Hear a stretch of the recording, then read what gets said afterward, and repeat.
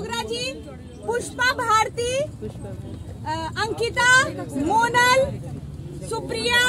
Hema Malini, Aditi, Soni Chaurasia